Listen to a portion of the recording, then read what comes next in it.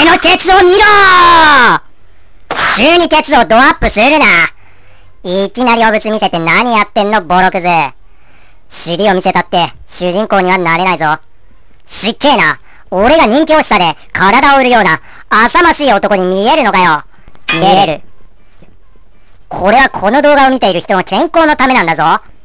これは俺独自の研究の末、明らかになった情報なんだが、棒人間の尻を毎日1分以上見続けると健康になるらしいぞ。いや、デタラメ言ってんじゃねえよ。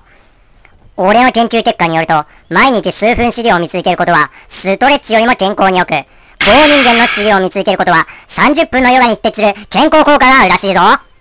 なるほど、それはすごい。とでも言って欲しかったのか？うん。騙されるわけねえだろ。まさき、俺は視聴者に健康でいてほしいだけなんだ。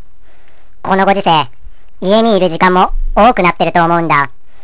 この動画を見ているみんなに、家でも健康でいられるという形で、恩返しがしたい。俺はその一心で、尻を見せているんだ。決して人気を取りたいとか横島な考えがあるわけではないんだ。それとだな。これはもう一つ、研究で解明した事実なんだが、この動画の高評価ボタンを押したり、このチャンネルの動画を何度も繰り返し見たり、アルタイル20チャンネルをチャンネル登録したりすると、健康効果は5000兆倍になります。すごい。寿命が5秒も増えます。マジで？彼氏ができます。なんと、宝くじ当たります。ウェーイリア充になれます。すごすぎるしげる騙されるな。これはすごいよ。ボロクズの研究結果だってんなら、間違いないね。そうだろう、そうだろう。だが、視聴者の中には、まだこの研究結果に疑問を感じている人もいるだろう。